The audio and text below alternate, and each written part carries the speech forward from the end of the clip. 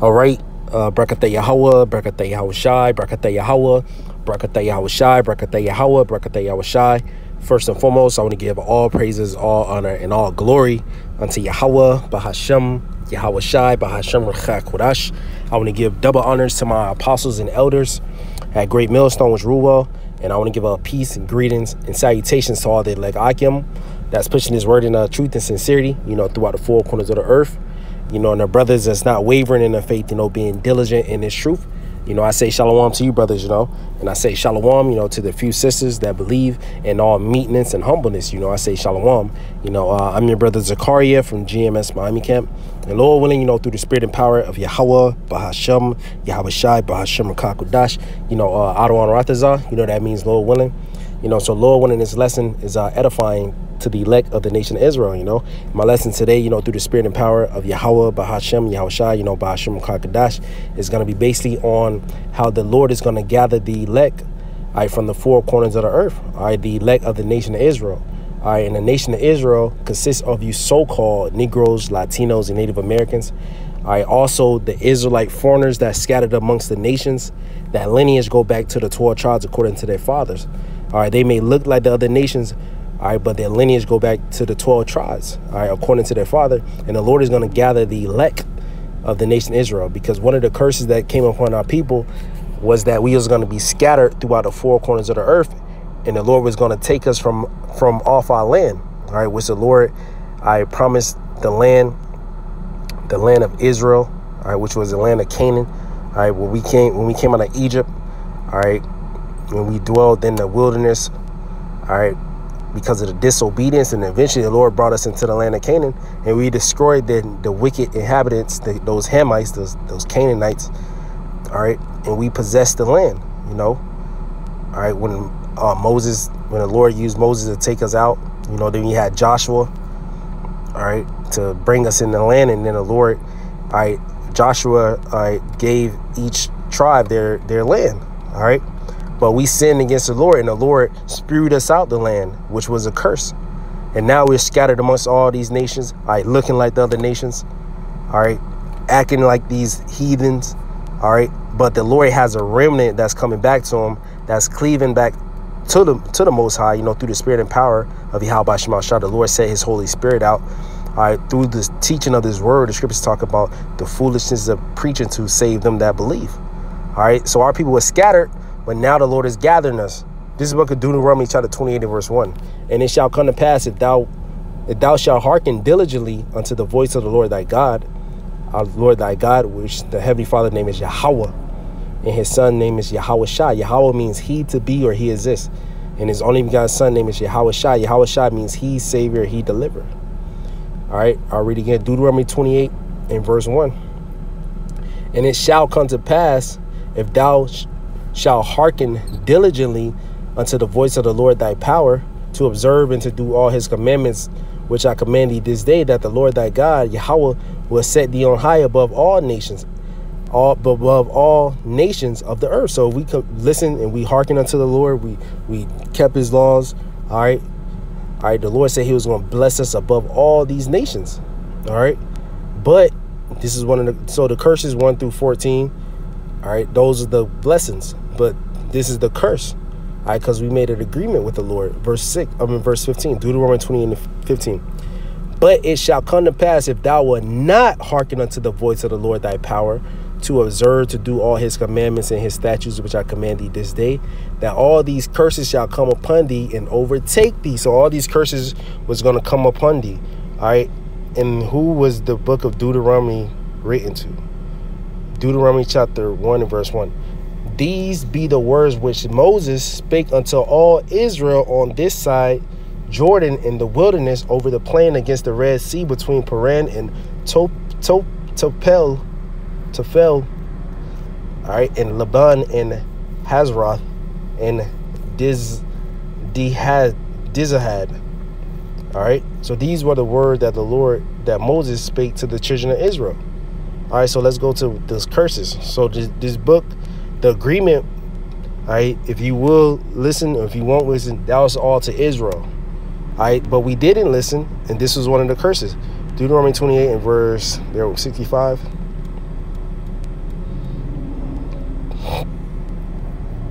Sixty 63. Deuteronomy 28 63. It says, And it shall come to pass that as the Lord rejoiced over you to do you good and to multiply you, so the Lord will rejoice over you to destroy you and to bring you to naught, and shall and ye shall be plucked from off the land whither thou go goest to possess it. So the Lord said He's gonna destroy us, all right, not the whole nation. He's gonna judge us in number. All right, because the Lord made a promise with Abraham, Isaac, and Jacob that our seed was gonna be a everlasting seed. All right. So he's gonna judge us. He says, And ye shall be plucked from off the land whither thou goest to possess it. And the Lord shall scatter thee among all people from one end of the earth even unto the other, and there shalt thou serve other gods, which neither thou nor thy fathers have known, even wood and stone. So that we to be scattered amongst all nations, right, from one end of the earth to another.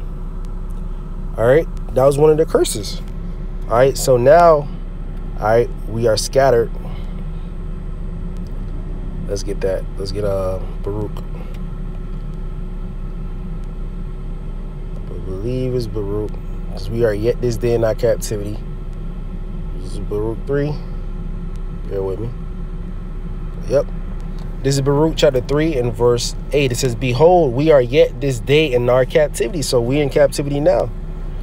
Where thou hast scattered us for a reproach and a curse, and to be subject to payments according to all that all according to the all the iniquities of our fathers which departed from the Lord thy power. So we are yet this day in our captivity. All right, and the Lord is going to gather us. All right, from where we are scattered at. All right, Lord said a remnant uh, shall return. Bear with me.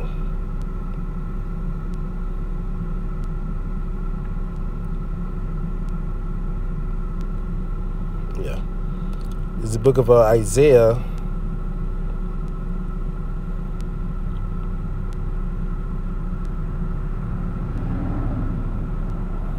Bear with me.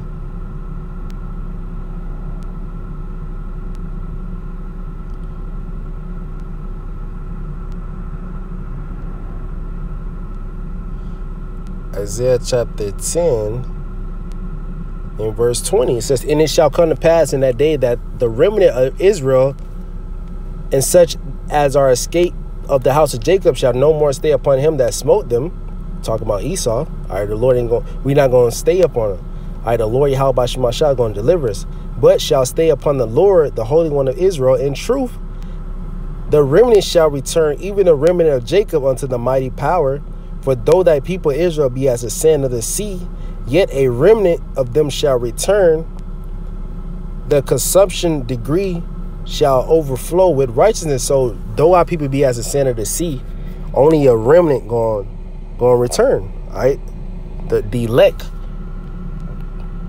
all right, the scriptures talk about the elect. All right. This is the book of Isaiah chapter 45 and verse 4. For Jacob my servant sake, in Israel mine elect have I called thee by thy name.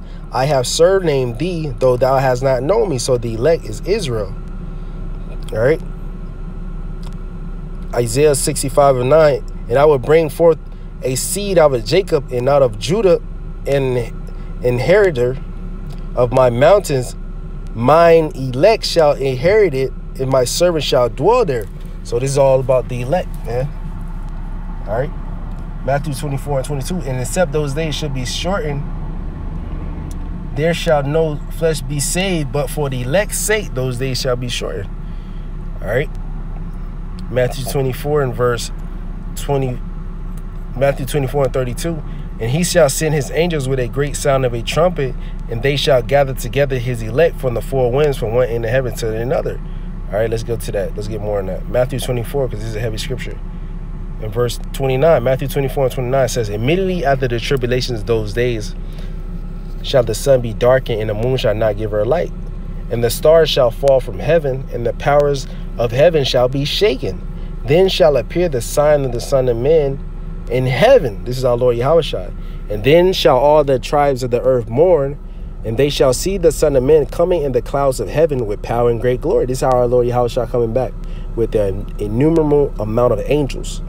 And he about to wage war with the armies of the world. He's going to defeat them. In America, Babylon the Great, Babylon the Great, which is America, the daughter of Babylon, is going to be destroyed by fire. All right, and the Lord going to send laser beams to this place, pursuant to the book of what, uh, Zechariah, the fifth chapter. It says, "Lo," Zechariah said. Zechariah said, "Lo, a, a flying roll, and this be the curse that goeth forth over the face of the whole earth, and it's going to enter into the house of the thief here in America, man." All right, and this place is never going to be inhabited by humans. This place is going to be a place where desert creatures. All right, just how the Lord overthrew Sodom and Gomorrah, and there's nothing inhabited there. This is a, the same way America gonna go down. All right, by fire. All right, by those thermonuclear fire and the laser fire. All right, Matthew 24 and 31. And it shall and he shall send his angels with a great sound of a trumpet, and they shall gather together his elect from the four winds, from one end of heaven to the other. So the elect is scattered from one end of the earth into another. All right, this is the book of James, chapter 1, in verse 1. It says, James, a servant of Yahweh and of the Lord Yahweh Shahamashiach, to the 12 tribes which are scattered abroad, greetings. What's going on? All right, so this is the 12 tribes scattered abroad. All right, as we read in the, as we read, I was one of the curses that, that the Lord's going to put on our people, man. All right, so let's get to um, Revelation 7, and I'm going to come back to that Isaiah. Revelation 7, verse 1. It says, And after these things I saw four angels standing on the four corners of the earth, holding the four winds of the earth, that the wind should not blow on the earth, nor hurt the sea or any so nor on the sea, nor on a tree, nor on any tree. And this talking about a destroying wind, those thermonuclear fire. And I saw another angel ascending from the east, having the seal of the living power. And he cried with a loud voice to the four angels whom, to whom it was given to hurt the earth and hurt the sea. Verse 3 saying, Hurt not the earth, neither the sea nor the trees, till we have sealed the servants of our power in their foreheads, meaning the, the elect is being sealed with his wisdom, knowledge, understanding, in the name of the Lord, the 100% truth. All right, starting with the 144,000, which is the prophets out here prophesying. All right, which they gonna have, they're gonna be sealed right, with the, as it says in Ezekiel 9 and 4, the mark of exemption, the Tawah, all right? Because when this destruction happens, the elect is going to be delivered from it. Verse 3, saying, hurt not the earth, Revelation 73, saying, hate, hurt not the earth, neither the sea nor the trees, till we have sealed the servants of our power in their foreheads. And I heard the number of them which were sealed, and they were sealed an hundred and forty and four thousand of all the tribes of the children of Israel. Of the tribe of Judah was sealed twelve thousand. The tribe of Judah, Judah you so-called Negroes. Of the tribe of Benjamin was Benjamin was sealed twelve thousand, which the tribe of Benjamin are you so-called Seminole Indians. Of the tribe of Gad was sealed twelve thousand. Gad are you so-called North American Indians. Of the tribe of Asher was sealed twelve thousand, so-called Colombian to Uruguay. All right down there in uh, South America, the so, uh, so-called Brazilians. Uh, the tribe of Naphtali was sealed 12,000. Talking about Chile, Chile to Argentina. All right. It says, continuing on, says of the tribe of Manasseh was sealed 12,000, which are you so-called Cubans. All right. Verse seven it says of the tribe of Zebulun was sealed 12,000. Zebulun are you so-called Guatemalans to Panamanians, all right? El Salvadorians. He says of the tribe of Joseph was sealed 12,000, all right? Joseph are you so-called uh, Puerto Ricans, all right? You can read that in number. Let me get that. Numbers, numbers one. Bear with me.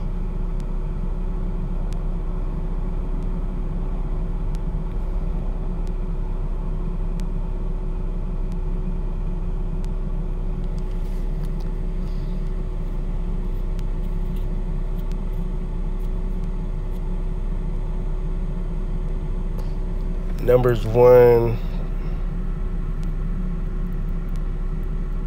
Numbers 1 and 32. And of the children of Joseph, namely of the children of Ephraim, by their generations after their families, by the house of their fathers, according to the number of the names, from 20 years old and upward, all that were able to go forth to war. So, of the children of Joseph, namely of the children of Ephraim. All right, so when it says Joseph in Revelation 7, it's talking about the Ephraimites, so called Puerto Ricans. Continuing on in verse 8, of the tribe of Benjamin was sealed to a thousand. Benjamin are you so called West Indians, so called um, uh, Jamaicans, Bahamians, Guyanese, Trinidadians, all right, and those islands, all right. Was it St. Lucia?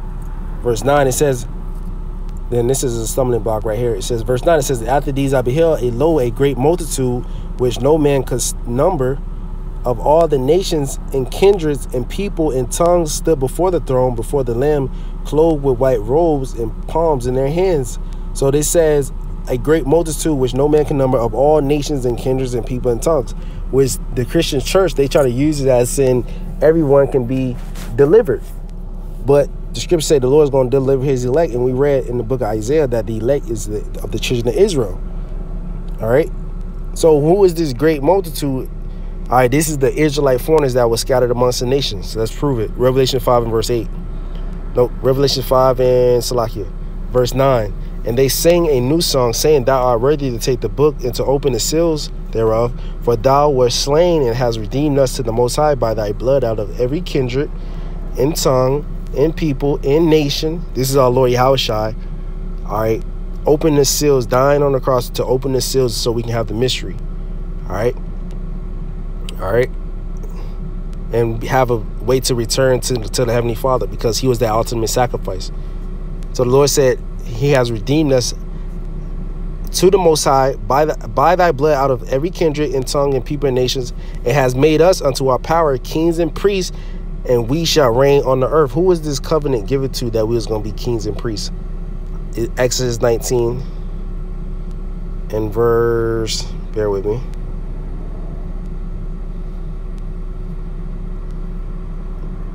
Gotta, gotta, gotta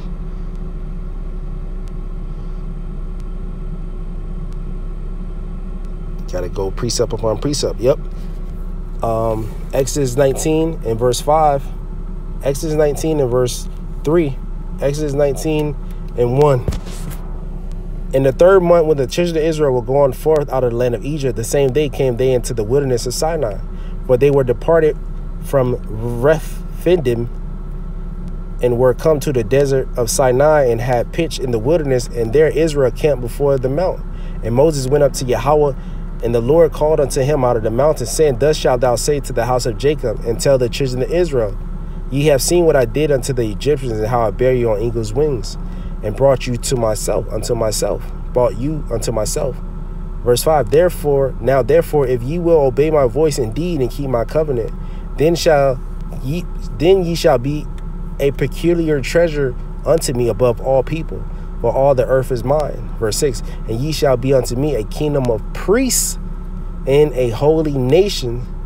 These are the words which thou shalt speak unto the children of Israel. So he's going to be a holy nation and a, uh, a kingdom of priests. All right. So the Lord said, well, He had made us kings and priests, and we shall do it reign on the earth. So this was given to the children of Israel. I believe it's in Peter also. Second Peter 1, I believe. Second Peter 2.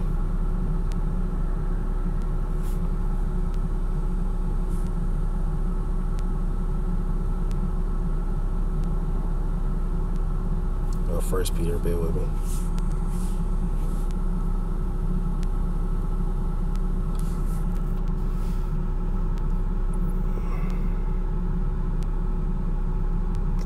Yeah, this is um First Peter 2 and verse 4. It says, To whom coming as unto a living stone, disallowed indeed of men, but chosen of the Most High precious, ye also as lively stones are built up a spiritual house and holy priesthood to offer up spiritual sacrifices acceptable to the Most High by Yahweh Shai, by Yahweh Shai HaMashiach. All right, so we are holy priesthood. All right. All right. Talking about the children of Israel.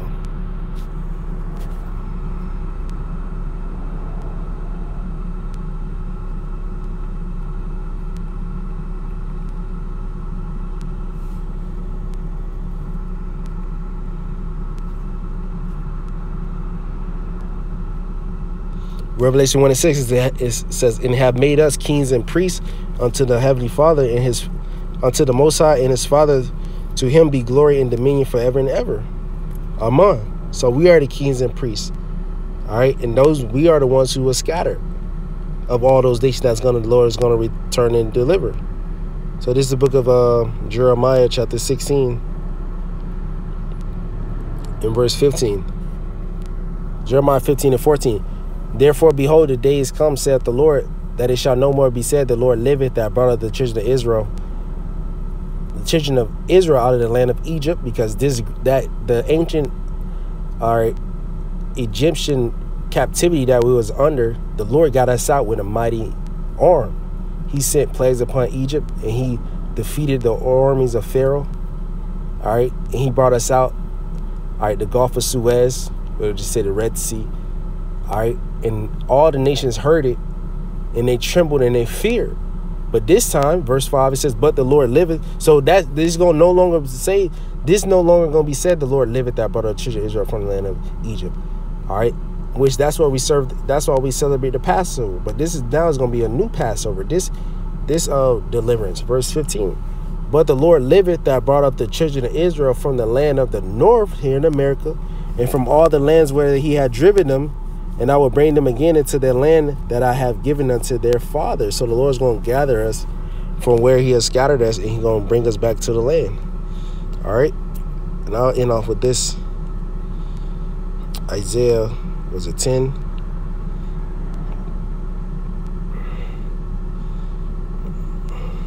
Isaiah 11. Isaiah 11 in verse 10, it says, In that day there shall be a root of Jesse which shall stand for an ensign for the people, our Lord Yahushua. To it shall the Gentiles seek, meaning the Israelite foreigners, and his rest shall be glorious. All right. Verse 11 says, And it shall come to pass in that day that the Lord shall set his hand the second time to recover the remnant of his people. The second time going back, like this deliverance. All right. The first all right, deliverance was ancient Egypt. This is the second time. All right. This deliverance in these times the uh, time to recover the remnant of his people, which the remnant, the elect. All right, though uh, though we be as a sand of seed, a remnant shall return, which shall be left from Assyria and from Egypt and from Pathros and from Cush and from Elam and from Shinar and from Hamath and from the islands of the sea. And he shall set up an ensign for the nations and shall assemble the outcasts of Israel and gather together the dispersed of Judah from the four corners of the earth. The envy also of Ephraim shall depart, and the adversaries of Judah shall be cut off. Ephraim shall not envy Judah, and Judah shall not vex Ephraim. All right, so the Lord is going to gather the elect of the 12 tribes, and He's going to bring us back in the land.